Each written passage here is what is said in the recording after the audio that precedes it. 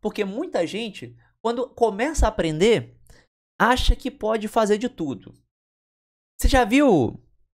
Desculpa a analogia aqui, mas eu acho que vai ficar fácil da gente compreender.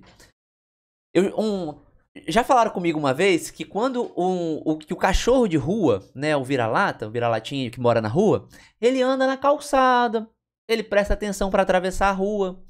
Um cachorro de dentro de casa, um que, que mora em casa, que quase não vai na rua, se ele foge, ele sai correndo igual maluco, ele passa na frente dos carros, ele corre no meio da rua.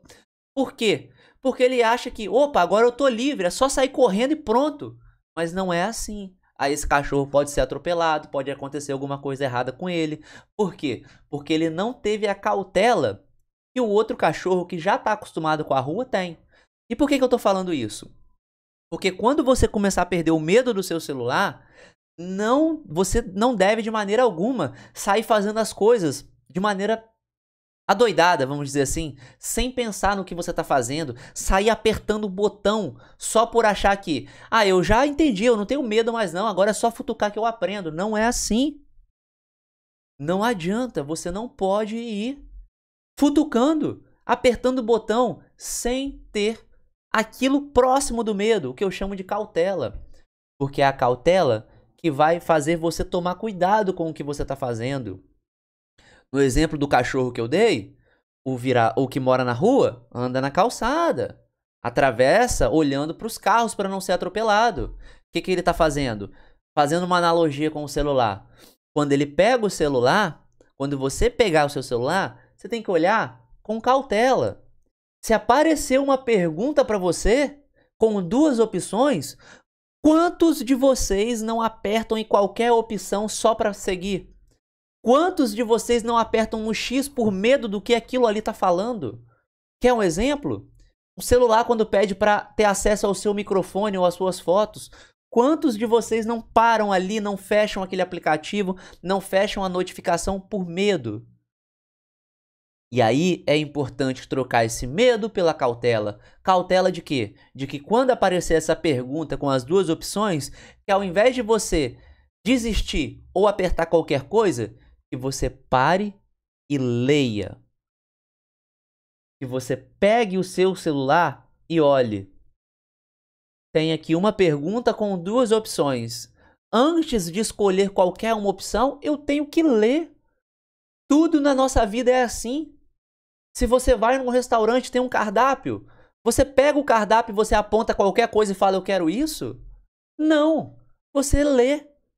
Então me fala, por que, que quando aparece esse tipo de pergunta no seu celular você aperta qualquer coisa ou desiste sem ler?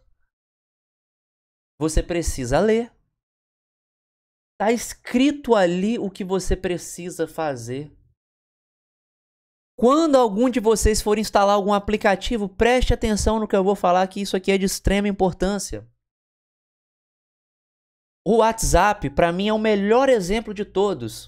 O WhatsApp, ele pede permissão para acessar o seu microfone, acessar suas fotos, acessar sua localização.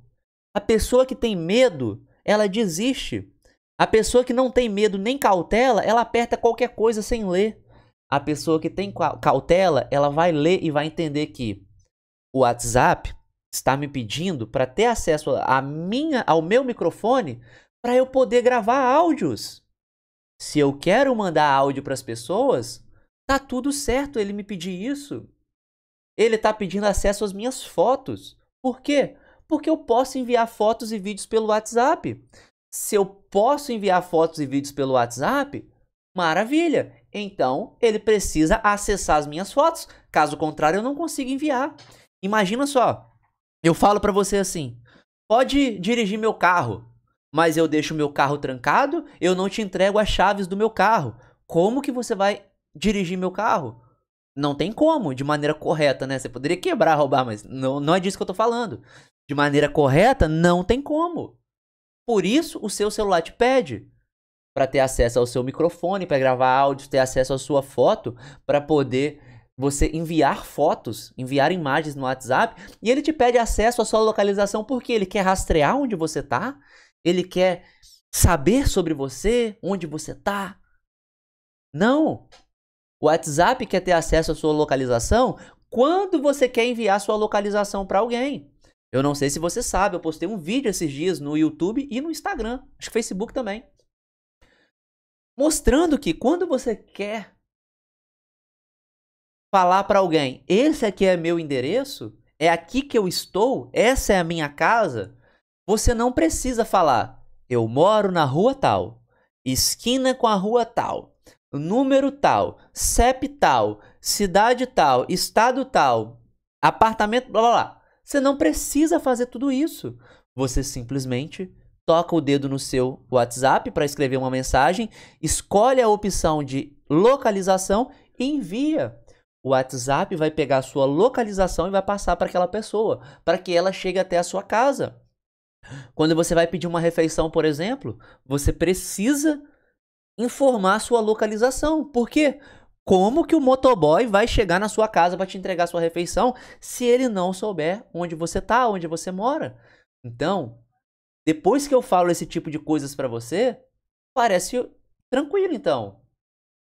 Você se sente confortável.